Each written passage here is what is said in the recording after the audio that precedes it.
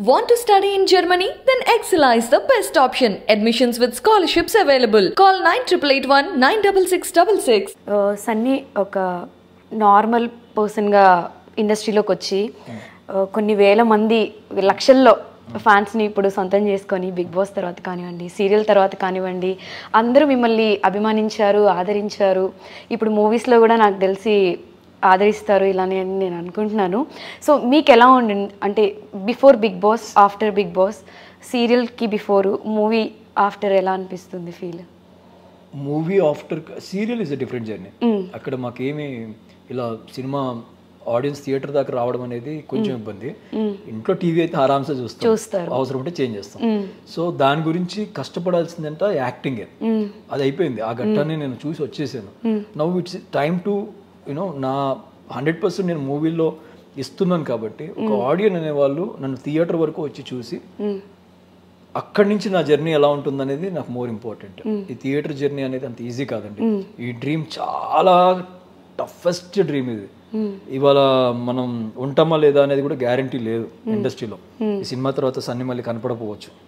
అయ్యో అలా ఏం అంటే చెప్తున్నాను. లైక్ కనపడకపోవచ్చు కనపడవచ్చు లేదా మంచి మనం ఎన్ని చేసినా కానీ end of the day audience మనని ఉంచాలంటే ఉంచుతారు లేదంటే లేదు అంతే.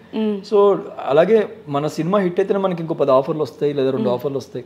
లేదురా వాడి సినిమా నా వాడిది నడవట్లేదు అంటే డబ్బులు కూడా రావు మన మీద వాడు పెట్టేటోడు పెట్టడు.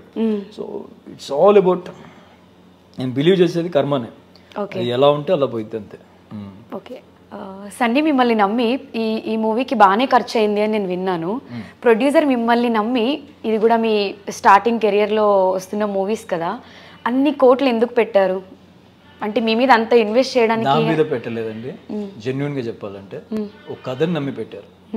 అది నేననే కాదు ఏ యాక్టర్ ఉన్నా కానీ ప్రొడ్యూసర్ ఒక మనీ పెడుతున్నాడంటే కొంతమంది మనం హీరోస్ కోసం పెడతాం కానీ ఆయనకి ఈ సినిమా మీద ఉన్న ఎంటర్టైన్మెంట్ అంటే కామెడీ అనేది ఆడియన్స్కి చాలా మిస్ అవుతుంది.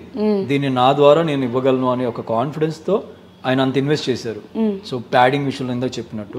సో అన్ని కోట్లు పెట్టినందుకు ఒక టెన్షన్ అయితే ఉంటది కానీ నేను ఆయన ఫేస్లో ఏ రోజు చూడలేదు ఆ- కంగారు అది. బికాస్ ఈస్ కాన్ఫిడెంట్ ఆయన నేను అడిగా అన్నా నువ్వు నేనే అన్నాను. మీరు దాకా ఎందుకు? నేనే ఆయన క్వశ్చన్ చేశాను ఇన్ని కోట్లు పెట్టావు కదన్నా నీకు కొంచెం కూడా టెన్షన్ లేదా నీకు. నేను కష్టపడి సంపాదించిన మనీస్ అన్ని ఇది నేను నమ్మి పెట్టాను. నాకు ఏ టెన్షన్ లేదు. నాకు ఎట్లయినా నమ్మకం ఉంది. నాకు నా మనీ వస్తాయన్న నమ్మకం నాకు ఉంది. ఒకవేళ పోయినా నేను ఆయన అన్న- మాటకి నేను కళ్ళలో నీళ్ళు తిరిగాయి. పోయినా నాకు ఫరకపడదు నేను మళ్ళీ తీస్తా మళ్ళీ చేస్తా.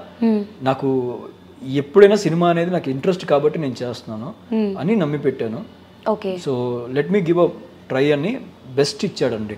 ఎక్కడ కాంప్రమైజ్ కాకుండా సినిమాలో ఎక్కడ ఏ విషయంలో కాంప్రమైజ్ కాకుండా తను ఇన్వెస్ట్ చేశారు. సో అది ఇట్స్ హ్యూజ్ అమౌంట్ నేను మాటల్లో చెప్పలేని అమౌంట్ బట్ మేము మాకు- ఆయన కంటే ఎక్కువ నాకు టెన్షన్ ఉంటుంది కదా. ఆయనకి రావాలన్న టెన్షన్ నాకు ఎక్కువ ఉంది. ఆయనకి లేదు కానీ మా టీంకి ఉంది అరే ఆయనకి సక్సెస్ కొట్టాలి ఏదో రకంగా ఆయన మనీ ఆయనకి రావాలి. అలా అని చెప్పి ఆయన ఫాలో అయ్యే పర్సనాలిటీ కాదు అది. రజిత్ అంటే మామూలుగా ఉండదు.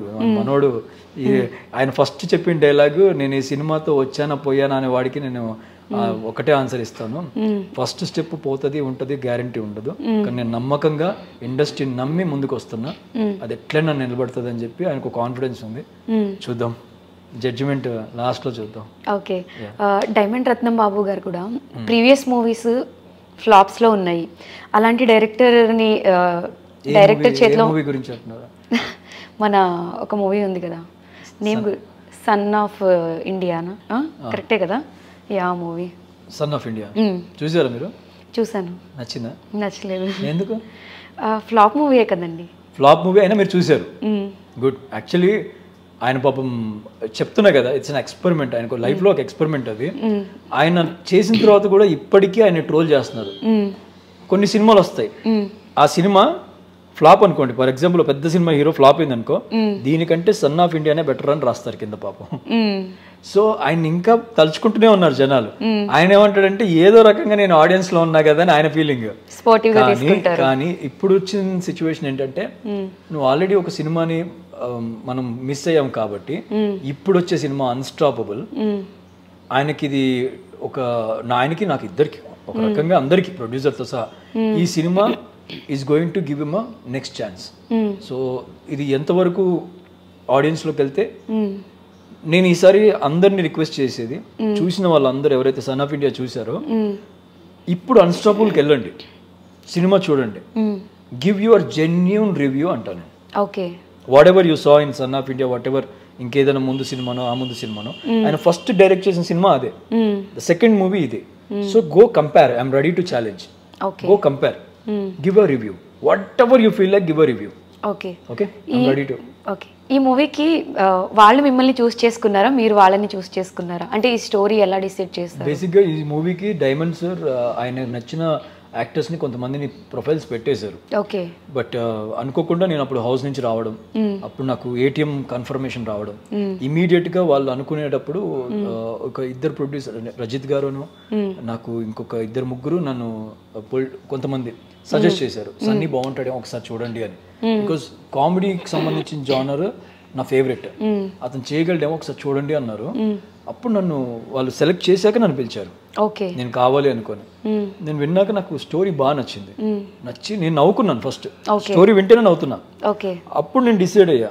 ఇంటికి వెళ్ళిన తర్వాత నాకు నా ఫ్రెండ్స్ నా మైండ్ చేంజ్ చేశారు. వద్దొద్దు నువ్వు చెయ్యొద్దు సినిమా అని. అది కూడా ఫిఫ్టీ పర్సెంట్ ఏమో వద్దన్నారు. ఫిఫ్టీ పర్సెంట్ ఏమో అరే అవకాశం అనేది మళ్ళీ మళ్ళీ రాదు. చెయ్యరా అని. ఇక్కడ కూడా మా మా ఫ్రెండ్స్ మధ్యలో చిన్న క్లాష్ వచ్చింది. ఒకటి చెయ్యమని ఒకటి చేయొద్దని వీడు నా మంచి కోరేవాడే వీడు నా మంచి కోరేవాడే. నేను అనుకున్నది ఏంటంటే why can't I take my call ఒక మనిషిది అదే చెప్తున్నా కదా ఎప్పుడు అనేది ఒక ఫ్లాప్ చూసిన తర్వాత ఎందుకు అదే మైండ్లో ఉంటాం మనం? నేను ఫ్లాప్ చూస్తా మీరు ఫ్లాప్ చూస్తారు. నెక్స్ట్ మంచి చేయలేమా? అని నేను లెట్స్ డూ ఇట్ అని చేస్తున్నాను యా సో స్పోర్టివ్గా తీసుకున్నారు ఒక స్టెప్ ముందుకే యా అండి. ఇప్పుడు కాకపోయినా ఎప్పుడైనా మనం ఏదో ఒకటి స్పోర్టివ్గా తీసుకోవాలి అంతే.